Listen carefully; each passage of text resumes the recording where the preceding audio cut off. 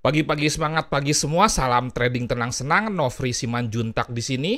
Pada bagian video pertama mengenai supply and demand, saya sudah menjelaskan mengenai dasar penting analisa teknikal, bahwa analisa teknikal itu belajar sejarah pergerakan harga atau istilahnya price action di masa lalu. Jadi yang namanya price action itu bukan supply and demand, yang namanya price action itu adalah pergerakan harga. Selanjutnya saya sampaikan juga bahwa analisa teknikal itu terdiri dari empat bagian. Saya sudah mengumpas secara singkat mengenai tren, support and resistance, volume, dan juga ada bagian keempat yang saya belum kupas yaitu time. Di analisa teknikal kita bisa melakukannya dengan tanpa indikator atau naked trading dengan bantuan indikator kemudian kombinasi dan dalam video kedua, saya juga sudah menyampaikan bahwa pergerakan harga itu karena adanya volume yang merupakan bagian dari analisa teknikal. Volume akan permintaan dan penawaran yang dilakukan oleh institusi besar karena mereka memiliki dana besar, mereka bisa melakukan transaksi besar, akhirnya menggerakkan harga dan membentuk tren. Di dalam video kedua, saya juga sudah membahas mengenai hukum permintaan penawaran atau supply and demand, dan saya sudah menyatakan bahwa supply and demand adalah bagian dari support and resistance. Support and resistance itu sendiri ada tujuh metode, salah satunya adalah supply and demand, dan support and resistance bisa level satu harga, bisa juga range atau membentuk zona. Di dalam video ketiga ini, saya akan membahas yang dimaksud dengan pola pergerakan harga dalam kaitannya dengan supply and demand, seperti rally base rally atau rally base drop, dan lain sebagainya. Dan saya juga akan membahas apa yang dimaksud dengan area base. Area base itu merupakan sebuah support and resistance yang sideways sebetulnya, dan saya juga akan menyampaikan bagaimana menentukan area base dengan cara manual atau menggunakan candlestick pattern sehingga yang namanya candlestick pattern ini harus Anda kuasai. Mari kita saksikan videonya. Terima kasih. Empat pola pergerakan harga. Rally, base, rally, drop, base, drop. Saya ganti istilahnya supaya Anda jangan bingung. Uptrend, sideways, uptrend downtrend, sideways, downtrend. Sekarang quiz pola pergerakan ini rally base rally, drop base drop itu sebetulnya mengacu kepada chart pattern. Saya tanya kepada Anda, ini chart pattern apa? Ini bullish rectangle Bapak Ibu sekalian.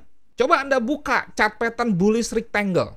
Dia kan bullish, sideways, dia bullish. Ini bearish rectangle. Jadi, rally base rally, drop base drop itu asal muasalnya dari chart pattern yang disebut dengan bullish rectangle dan bearish rectangle. Nah, ini sekarang rally base drop, drop base rally. Jadi ini sebetulnya double top, double bottom, triple top atau misalkan head and shoulder ini masuknya di sini atau QM lah dan lain sebagainya. Nah, ini balik lagi ya sama aja. Ini double top, ini double bottom. Rally base rally, drop base drop, rally base drop, drop base rally itu semua sebetulnya dari chart pattern. Makanya chart pattern dan candlestick pattern ini wajib Anda kuasai. Itu basic nanti supply and demand. Naked trading. Oke, kayak gini kan? Rally, base, drop. Ini berarti kan area supply kan. Dan jangan lupa dalam komunitas saya trading tenang senang ada dikenal istilah pada mulanya adalah tren. Jadi tren itu guidance. Tren bukan paling penting karena paling penting itu support and resistance. Dan kalau dikatakan paling penting bukan berarti yang lain tidak penting. Pada mulanya adalah tren, kemudian lanjut ke support and resistance dan di dalam support and resistance ada supply and demand. Bahwa supply itu resisten, demand itu support. Lanjut, ini drop, base, drop. Ini berarti supply. Lanjut lagi, drop, base, rally. Ini demand, dan rally ini di mana lagi? Base rally. Ini bullish rectangle. Saya yakin banyak yang baru ngeh. Oh, rally base rally itu bullish rectangle ya. Drop base drop itu bearish rectangle. Saya yakin. Karena banyak yang tidak ngeh. Nah, ini tadi. Oke? Okay? Rally base rally. Drop base drop. Di sini bicara mengenai double top, double bottom itu kan pola pembalikan tren disebutkan. Bullish rectangle, bearish rectangle ini kan penerusan tren. Rally base rally itu kan penerusan tren. Drop base drop itu penerusan tren. Tetapi rally base drop itu pembalikan tren.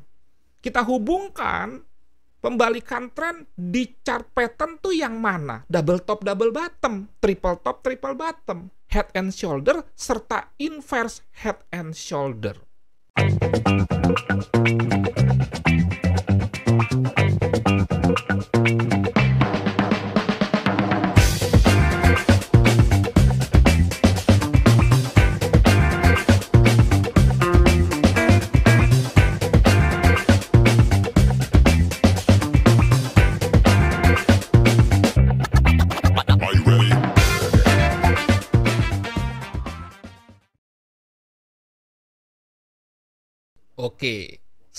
Sekarang kita masuk lebih tajam lagi. Bagaimana sih menentukan area base? Area base itu support and resistance. Area base yang ada di atas itu namanya resistance, namanya supply. Area base yang ada di bawah itu namanya support atau demand. Area base adalah area sideways, konsolidasi, di mana market structure tidak berhasil membentuk higher high dan higher low yang semakin tinggi atau lower low, lower high yang semakin rendah. Secara prinsip area base itu adalah area-area di mana sideways terjadi. Bisa di atas, bisa di bawah. Kalau di atas namanya area base supply, di bawah namanya area base demand. Nah, bagaimana cara menentukan itu? Pakai apa? Kita masuk ke sini. Pertama, bisa secara manual. Jadi mengandalkan mata. Ini cukup subjektif nih. Cara manual ini memperhatikan area pergerakan harga saat konsolidasi atau sideways. Tips. Kalau Anda mau gampang, cobalah lihat dalam bentuk grafik garis. Ini grafik garis ya. Contoh misalkan, dia bergerak dalam range yang sempit nih. Dan ini pandangannya manual. Kita nggak bisa langsung lihat ke chart yang sesungguhnya dulu, belakangan aja. Nah kali ini kan misalkan 2-3 hari langsung naiknya tajam. Terus beberapa hari dia bergerak dalam range yang sempit. Kalau kita dibandingkan dengan periode waktu di sini, pergerakannya mungkin hanya 25% atau 30%. Dan setelah dia menembus breakout, maka terjadilah pola yang disebut rally base rally. Ini penerusan tren. Dan nanti diperhatikan volume. Ini saham nih, Garuda. Saya tidak mendapatkan data Anda sebagian besar di saham atau di forex gold, tetapi saya menyampaikannya secara umum saja ya. Dan saya pun trading saham ini tips saja, saya punya dua account kalau di saham, satu account investing, investasi, satu saham, satu account trading, saya bedakan.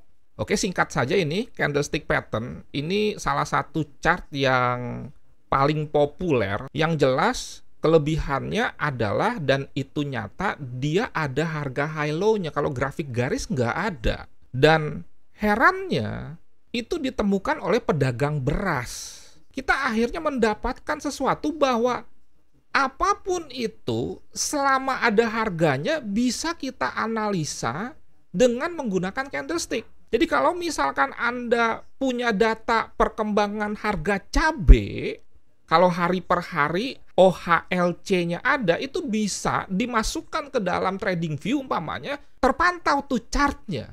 Dan cabai itu kan komoditi. Kopi, soybean, itu kan komoditi.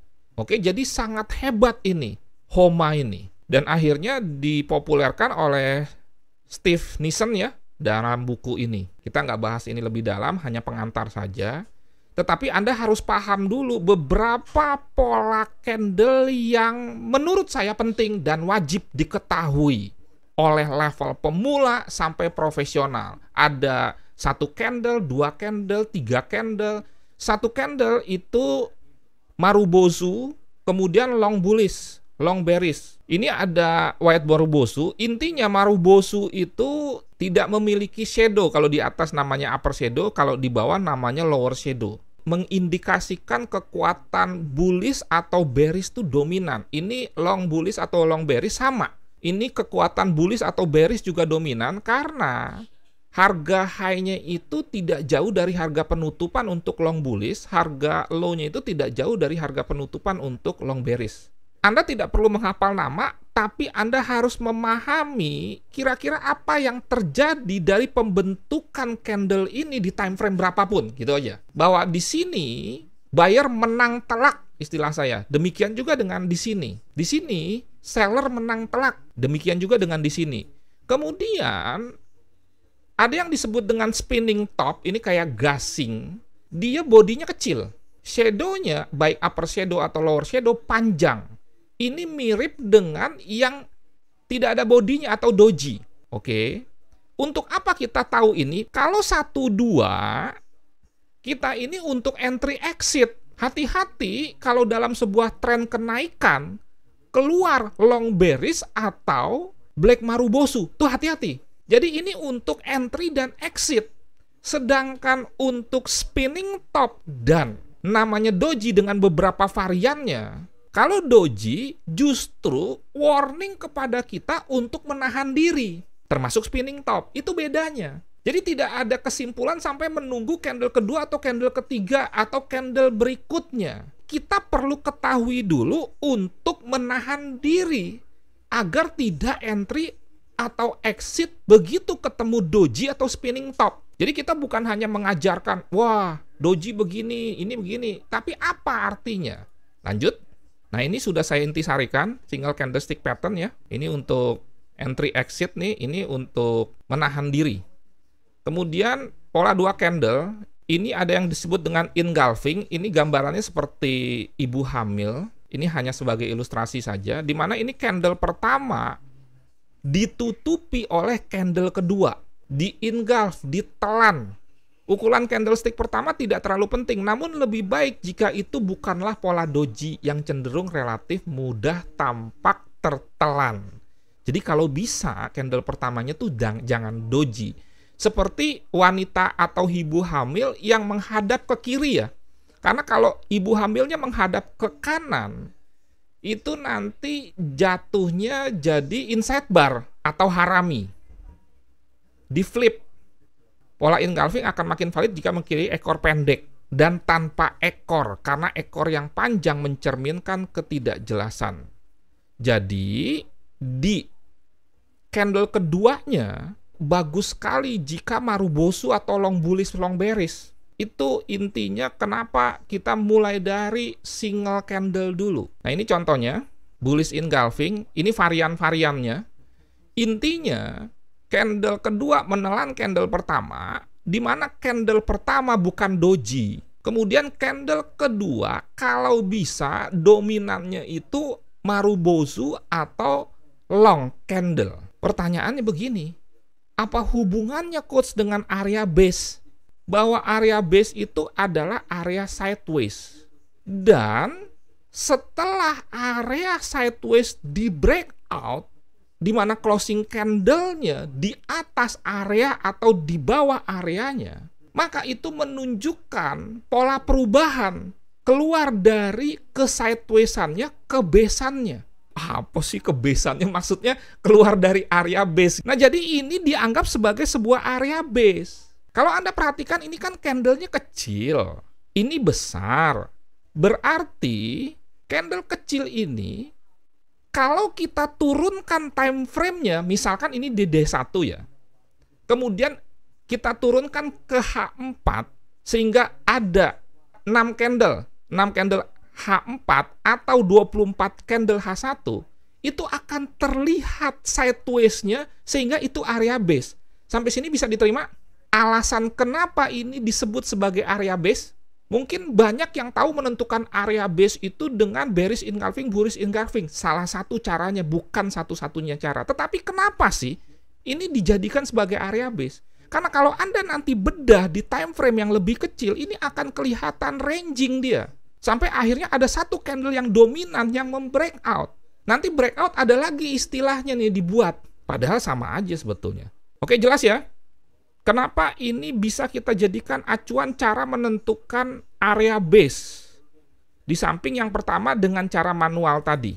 Sekian dan terima kasih. Semoga tiga video saya bermanfaat dan menjadi berkat. Saya masih akan menyampaikan satu video lagi di mana kita mungkin akan melakukan live trading, mempraktekkan bagaimana kita mencari area base dengan bantuan pola candle engulfing tadi dan bagaimana implementasinya. Jika memang ada momentum entry, kita akan entry. Jika tidak ada momentum, kita tidak akan entry.